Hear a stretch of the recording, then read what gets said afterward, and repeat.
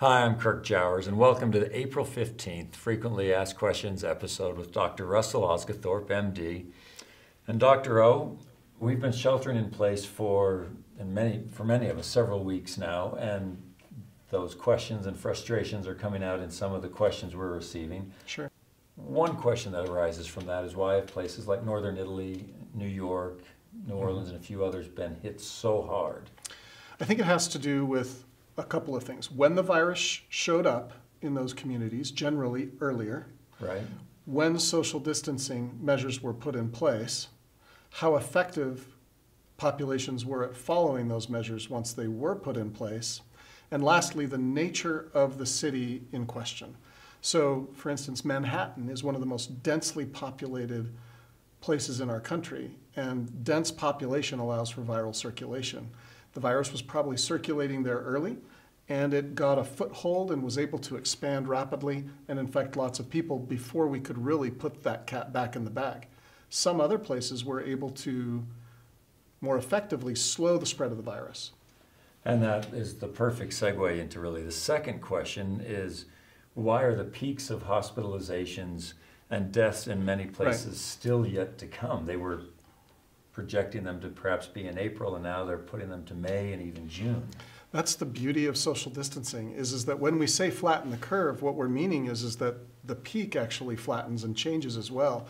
So the peak of illness is going to move as our social distancing uh, measures are put in place. And the fact that we're moving our peaks to the right, quote unquote, or further out, Right. means that we are being effective at slowing the spread of the virus.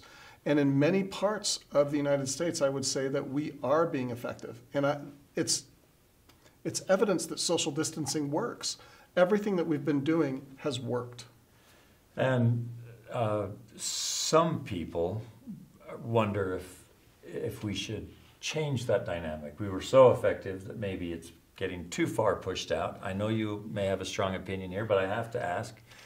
Assuming we get to a point when hospitals and healthcare providers can handle a surge, so obviously not now, but maybe in the summer, people are wondering whether they should host a version of chickenpox parties Yeah.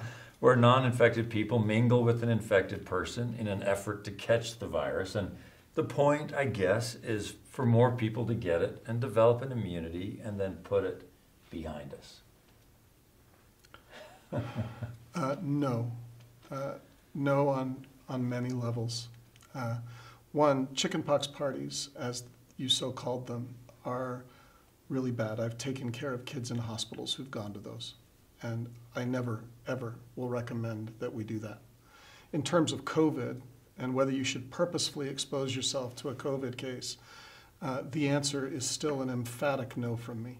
Uh, COVID has a measurable mortality rate, meaning that we can measure the rate at which people die when they catch this virus. And I would never knowingly do something like that uh, to those that I love or myself. Well, thank you. And, and as our episodes become less regular due to the maturing of the pandemic worldwide, I want to thank you for engaging with us. And Russ, I'm going to let you sign off with any final words. Thanks. There's a quote that I came across with the pandemic that uh, you shared with me, actually, that I really enjoyed from Mike Leavitt, former Secretary of Health and Human Services for the United States. And he said, Everything we do before a pandemic will seem alarmist, and everything we do after a pandemic will seem inadequate. I think it's important to state that everything we do during a pandemic will likely be felt by those experiencing the pandemic to either fall into one of those two baskets as well. During a pandemic, everything we do will either- be seen as alarmist or inadequate. This has been a, a really good exercise for all of us to think about what's most important in life. And I would say that it's important that we try as much as we can to go through it together. Thank you very much. and Be safe, everyone.